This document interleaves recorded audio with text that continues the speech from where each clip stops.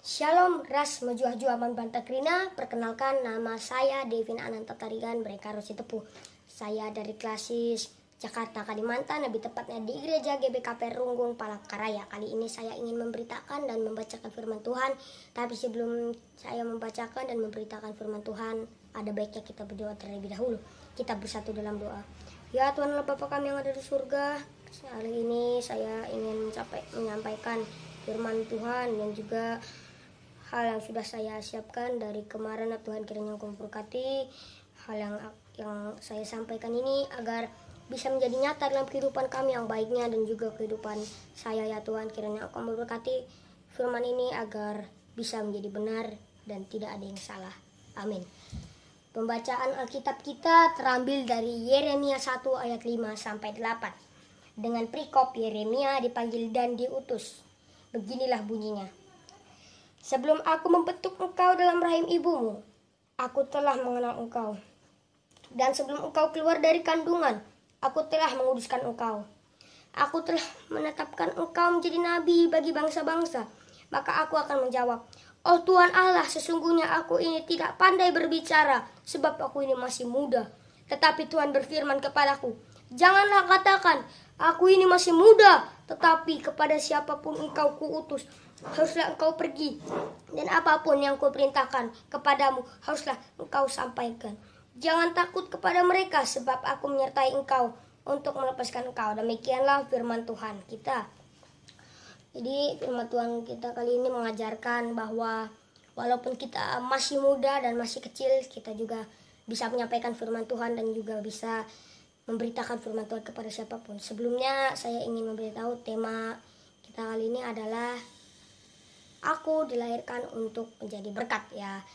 Kali ini saya ingin menyampaikannya langsung menjadi berkat. Maksudnya dari menjadi berkat kita saat kita dilahirkan, kita sudah menjadi berkat bagi ayah ibu kita, bagi keluarga kita. Karena jika kita bukan berkat, tidak mungkin Tuhan memberikan kita.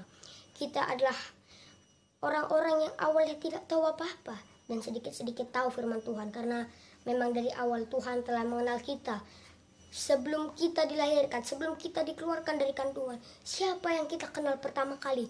Tuhan Yesus. Siapa yang kita lihat pertama kali? Tuhan Yesus. Siapa pencipta kita? Tuhan Yesus. Siapakah yang maha benar? Tuhan Yesus. Kenapa dibilang maha benar dan maha tahu? Karena Tuhan maha pencipta. Dia yang hebat, dia yang tahu segalanya. Dia yang mengatur hidup kita, dia juga yang memberikan jalan yang terbaik kepada kita. Mau itu hal buruk maupun yang baik. Dan ingat sekali lagi, Tuhan tidak pernah mencobai manusia. Tapi cobaan-cobaan itu datang dari kita sendiri. Di mana kita mencoba sesuatu yang harusnya tidak kita lakukan. Sehingga terjadilah masalah dan kita bilang itu adalah cobaan dari Tuhan. Tuhan tidak pernah mencobai ciptaannya, terutama manusia. Nah, jadi kita harus sangat-sangat bersyukur karena kita masih bisa hidup dan terhindar dari COVID-19 ini.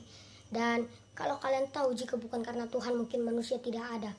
Jadi kita harus benar-benar harus bersyukur dan berdoa memuji nama Tuhan. Jangan kita berdoa memuji nama Tuhan hanya karena ada ibadah dan kita hanya bercanda saat berdoa dan bahkan kita tidak mendengarkan firman Tuhan. Kita harus mendengarkannya. Kita harus berdoa dengan sungguh-sungguh. Jangan kita berdoa dengan sepenuh hati.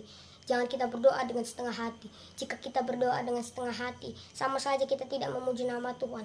Lebih baik kamu tidak berdoa jika kamu tidak jika kamu tidak memuji nama Tuhan dengan sungguh-sungguh, kita harus memuji nama Tuhan dengan bersungguh-sungguh karena Dialah yang Maha Tahu, Dialah yang Maha Benar dan Dialah Maha Pencipta. Dia yang Maha Hebat, bukan orang. Kalau kita berdoa kepada orang, kita memuji orang, kita berdosa. Kalau kita memuji Tuhan, kita hanya memuji Dia dengan sepenuh hati.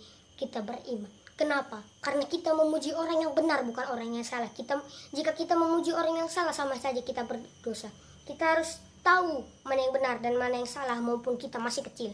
Karena dari situ pula kita akan mengenal firman Tuhan. Jangan kita semena-mena mentang-mentang Tuhan menciptakan kita. Kita sudah ah Tuhan hanya menciptakan kita dan tidak memberikan kita jalan bahkan rezeki sedikit pun. Ayo kita beribadah kepada yang lain. Tidak karena jika bukan karena Tuhan kita tidak akan makan atau bahkan tidak akan hidup. Dan bahkan tidak akan diberikan nafas kehidupan. Jadi kita harus benar-benar bersyukur karena hanya Tuhanlah yang menciptakan kita dan memberikan kita nafas kehidupan, makanan dan juga yang lain-lainnya. Karena jika bukan karena Tuhan mungkin kita sudah tidak ada di bumi ini.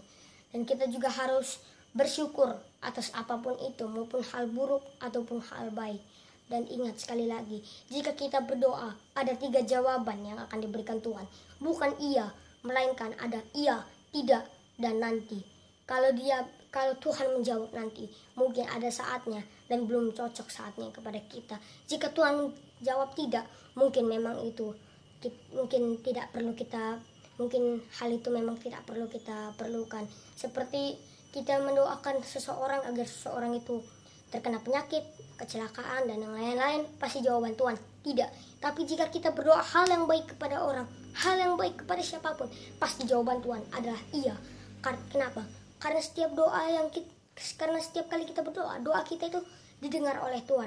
Tetapi Tuhan tahu mana yang benar dan mana yang salah. Bukan manusia, bukan manusia saja yang tahu. Tuhan tahu. Sebelum kita tahu mana yang benar dan mana yang salah, Tuhan lebih dulu tahu. Sebelum kita pintar dan lebih Sebelum kita pintar dan jenius, Tuhan lebih pintar dan jenius. Karena Tuhan yang pencipta kita.